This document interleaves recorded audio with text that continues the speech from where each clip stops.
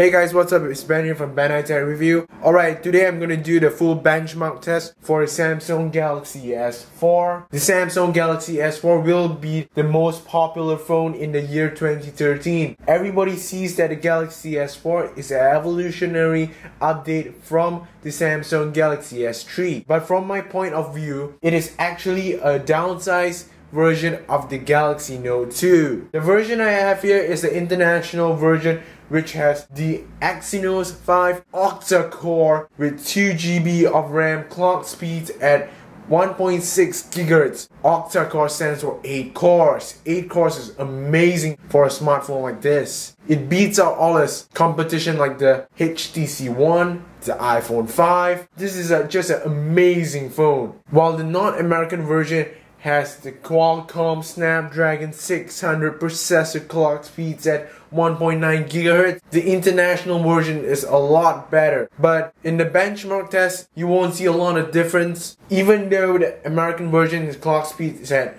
1.9 GHz, it's a little slower than the Exynos 5 octa-core version. So in this video, I'll be running the benchmark test, whether to test the CPU, GPU, or the overall system and how fast the Samsung Galaxy S4 is. This video is good for people who may just want to know how fast the S4 or just to compare with your own smartphone that you are having right now. So the first test we are going to run is Geekbench 2. The model of the Samsung Galaxy S4 I have here is the Samsung GTI 9500 and of course it runs Android 4.2.2. It also has the ARM Universal 5410 processor, which is pretty much a code name for the Exynos 5 octa-core version and it also has 1.82 GB of RAM. Okay, let's run the benchmark here.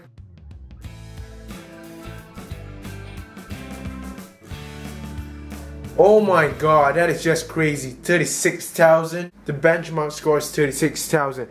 That is amazing. Okay, the second test I'm gonna run is the Antutu benchmark test. This is gonna run this, going to test the CPU, GPU, and everything. Okay, let's start the test.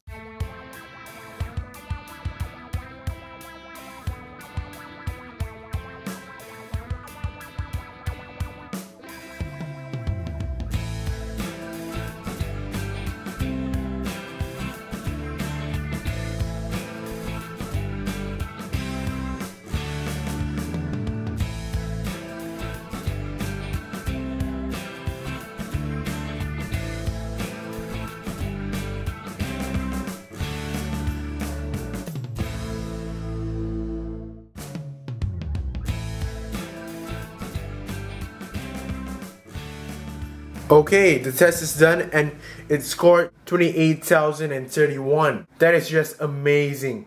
The CPU scores 11,000 and the GPU scores at 10,000. That is just awesome and amazing. So, thanks guys for watching. If you like this video, give this a thumbs up. Comment down below if you have any opinions on the Samsung Galaxy S4. Subscribe to my channel if you already haven't. Thanks for watching guys. Peace.